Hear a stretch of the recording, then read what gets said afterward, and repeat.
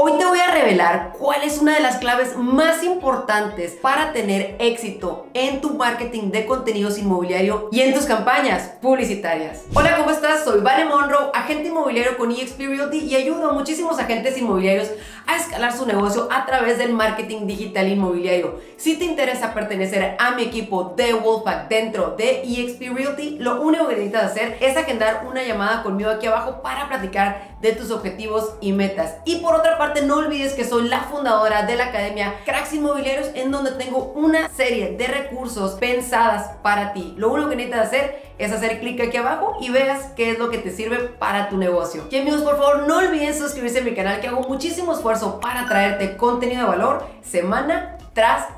Oigan amigos, pues como te lo dije al principio, vamos a hablar de una de las claves más importantes del éxito en las campañas publicitarias, en el marketing de contenidos. Y es nada más y nada menos que el buyer persona. ¿Cómo definir a tu buyer persona? Muchos de los agentes inmobiliarios con los que hablo me dicen, man, es que no tengo éxito en mis campañas, es que no tengo éxito en mi cuenta de Instagram, es que la gente no me sigue. Y es cuando les digo, a ver, vamos a definir paso a paso quién es tu buyer persona. Y si no lo tienes definido, no vas a poderte comunicar con esas personas. Por ejemplo, mi buyer persona es un agente inmobiliario que está interesado en aprender sobre marketing inmobiliario, estrategias en redes sociales cómo hacer campañas. Y es que puedo dividir a mi buyer persona, por ejemplo, en experiencia inmobiliaria, por ejemplo, los que son top producers, los que producen menos y los que van iniciando. Quiero que entiendas, es que tu buyer persona va a ser aquella persona que está interesada en ese proyecto que tú quieres o si estás hablándole a vendedores, pues tienes que definir qué características tiene esa persona que quiere vender esa propiedad en esa zona. Entonces, lo que vamos a hacer en este video es que te voy a enseñar a fondo cómo puedes definir a tu buyer persona a través de un cuestionario que tengo yo dentro de mi academia, en donde te voy llevando paso a paso para que definas a este buyer persona o esta persona que está lista a lo mejor para comprar esta propiedad. Por ejemplo, si yo tengo un desarrollo en preventa, puedo tener tres diferentes buyer persona, el inversionista, el primer comprador, la familia y a cada uno de ellos le vamos a asignar un nombre. porque Vamos a poner el inversionista a lo mejor se llama Ricardo y esta persona Ricardo tiene muchas características en común. A lo mejor tiene tal edad, vive en tal parte, tiene estos intereses, estas necesidades, etc. Pero entre mejor definas a ese buyer persona, va a ser mucho más fácil desarrollar un plan de contenidos de interés educativo, lifestyle y todo de acuerdo a lo que él está pensando y buscando para que tú puedas hacer estos contenidos dentro de tus redes sociales. Y así mismo si lo escalamos a campañas publicitarias en tu segmentación, en tu forma de hablar, en tu forma de hacer videos, en tu forma de hacer imágenes, será muy distinta la de Ricardo a lo mejor a la de un primer comprador que digamos que fuera María. Entonces es por eso tan importante amigos que definas a fondo y sumamente detallado quién es tu buyer persona para que puedas comunicarte a él y para que puedas, como siempre te digo, que entren a tu embudo de ventas. Y si todavía no sabes cómo crear un embudo de ventas, te voy a dejar este video aquí en donde te enseño paso a paso cómo crear un embudo de ventas. Así que amigos, sin más preámbulos, vamos a mi computadora para definir a tu buyer persona. Ok amigos, entonces vamos a hacer un ejercicio de cómo puedes definir a tu buyer persona de una forma súper analítica y que te va a ayudar de verdad, de verdad. Este es el primer paso para estructurar inclusive tus campañas publicitarias en donde al definir a tu buyer persona después de allí te quedará tan claro amigos cómo hablarle o quién es esa persona que podrás desarrollar inclusive el siguiente paso serían tus pilares de contenido, que es de lo que hemos hablado muchísimas veces. Te voy a dejar por allí un video en donde hablo de los pilares de contenido, pero si eres agente inmobiliario y quisieras llevar tu negocio a otro nivel, recuerda que también tengo mentorías VIP en donde voy a paso a paso, una estructura en cuatro sesiones espectaculares, te lo aseguro. Tengo muchos, eh, ¿cómo se llama? Testimoniales que les ha encantado esta mentoría. Me puedes mandar un mensaje aquí abajo que diga mentoría VIP y con mucho gusto podemos agendar una llamada al respecto para ver tus objetivos y metas. Pero entonces con estas plantillas, esta plantilla lo que vamos a ver, fíjate cómo a través del buyer persona, nosotros, número uno, tenemos que, la primera cosa que tenemos que hacer es imaginarnos a ese buyer persona, como les decía anteriormente, imagínate que mi inversionista se llame Ricardo, y porque yo sé que Ricardo es una persona que tiene esta edad, vamos a poner que dijera yo, no, pues sabes que tiene entre 35 y 45 años, es hombre, tiene alrededor de 10 mil dólares mensuales, eh, vive, en dónde vive, no sé, vive en San Diego, tiene un nivel educativo este, universitario y, y maestría, pero lo que quiero que pienses también es que imagínate que yo dentro de este buyer persona, para un terreno de inversión o para un desarrollo en preventa o lo que tú quieras decir, eh, sabrás que vas a tener diferentes. Puede ser que para un mismo producto, digamos a un desarrollo en preventa, también exista María, que es la persona que ya es este vive con su familia, tiene tantos hijos y dentro de María pues hay muchas Marías, es lo que quiero que entiendas. Cuando vas definiendo que Ricardo es esta persona, María es esta, este Javier es este, Sofía es este, entonces para ti después será muy fácil entablar cierta comunicación o abrir esa comunicación con Ricardo, María, este Sofía o Javier porque ya sabes específicamente qué es lo que necesita. Como ves aquí, o sea, aquí yo escribiría quién es y aquí tan fácil como yo pongo a lo mejor aquí, no, vamos a poner que dijéramos Ricardo. Un ejemplo, qué edad tiene, este, aquí le vas poniendo tu edad, un ejemplo, ¿no? Nada más hombre.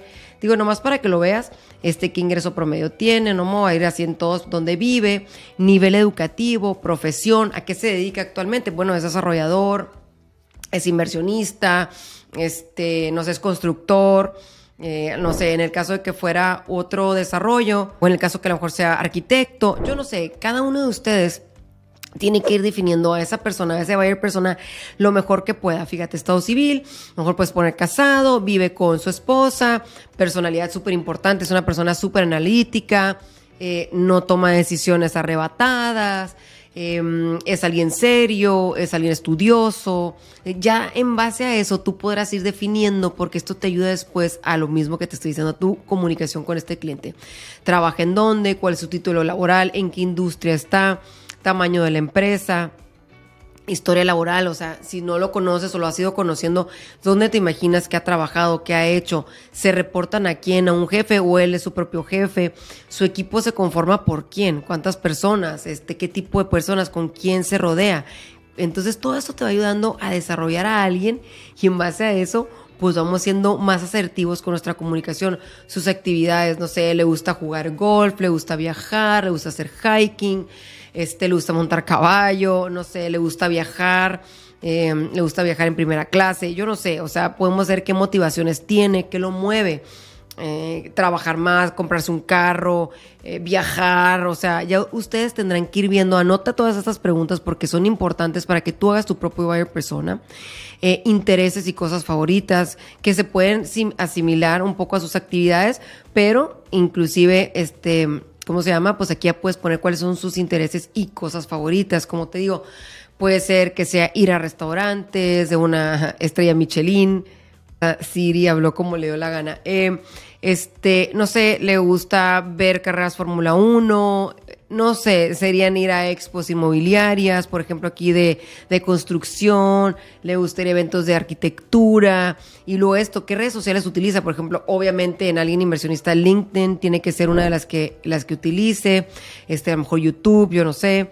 Eh, eh, un día en su vida que describas, bueno, un día en su vida sería ir a trabajar, ir al gimnasio, este, o ir a jugar golf, eh, a lo mejor ir a tal restaurante donde tú sabes que se unen muchos empresarios, a lo mejor ir a X cámara de, de, ¿cómo se llama?, de empresarios, ir por sus hijos a tal universidad, este, no sé amigos, o sea, entre más a profundidad puedas llevar todo esto en tu ejercicio, te aseguro que te va a ayudar muchísimo a poderlo, a poderlo describir.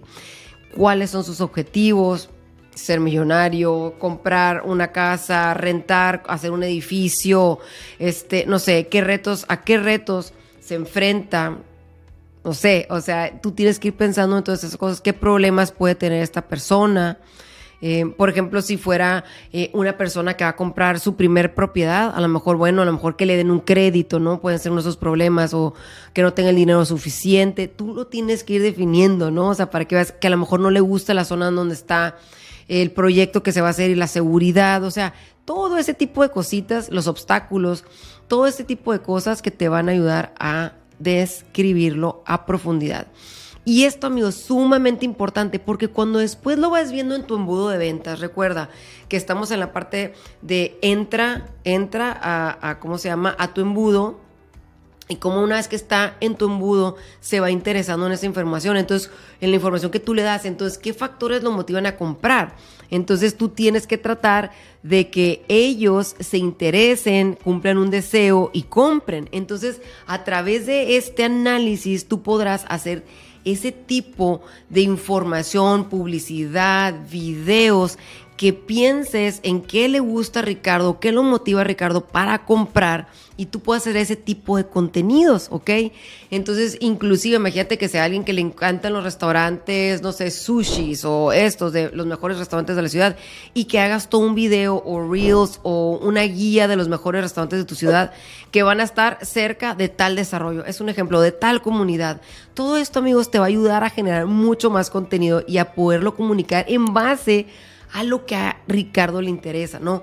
Cómo prefiere contar de contado, con crédito, este, etcétera. ¿Qué investiga antes de comprar? Entonces, fíjate cómo esto te va a ayudar a definir tus pilares de contenido, cómo interactúa con los vendedores, cómo mi marca le ayuda, o sea, cómo tú le puedes ayudar a Ricardo a comprar por tu experiencia, tu profesionalismo, tus testimoniales, eh, porque ya lo has hecho antes, porque eres el mejor en esto. O sea, ¿qué vas a hacer tú para ayudarle a que pueda comprar y que seas el mejor a la hora de comprar, vender, rentar o invertir, ¿no? En un negocio. Entonces, como te puedes dar cuenta, este, al final de todo este proyecto vendrá el mensaje de marketing. En base a todo lo que pudiste analizar, va a ser más fácil para ti escribir tus copies en un blog, en un video, en un reel, este, en anuncios publicitarios, porque ya sabes de qué manera te puedes comunicar con esa persona. Te invito de verdad, amigos, a que hagas todo este ejercicio a profundidad. Hemos tenido muy, muy buenos resultados con los agentes que hacen este ejercicio. Fíjate cómo se describe en propuesta de valor solución al problema de este buyer persona. Entonces esto es muy interesante que lo puedes definir y tu mensaje de ventas, ¿no? ¿Cuál va a ser el mensaje de ventas también para ti? Más que nada, esto se refiere.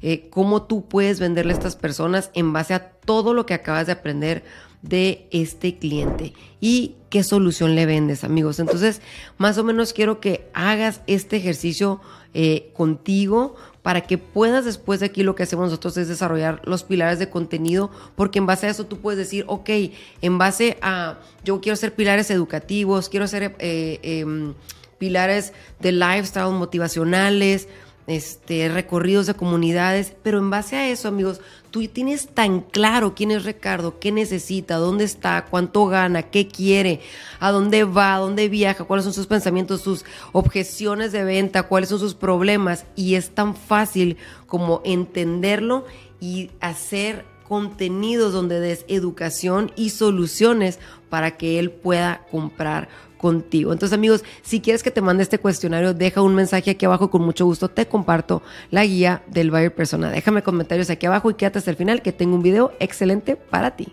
Amigos, como ves, esto pero te va a ayudar a expander tu marketing de contenidos, que tus campañas publicitarias vayan súper bien definidas, con ese objetivo de marketing, con esa comunicación, con ese arte de acuerdo a esas personas y que las puedas explotar al máximo. Oigan amigos, pero además tengo un video que estoy segura que te va a encantar en donde te enseño cómo generar 50 reels en 5 minutos para tu comunidad que te puede ayudar a escalar tu cuenta de Instagram Shorts o TikTok Aquí te lo voy a dejar aquí arriba. Y muchísimas gracias por todos sus comentarios. De verdad valoro que te tomes el tiempo de dejar tus comentarios. Recuerda que puedes hacerme cualquier pregunta y que mi objetivo es verte vendiendo mucho. Amigos, nos vemos. Hasta la próxima. Bye.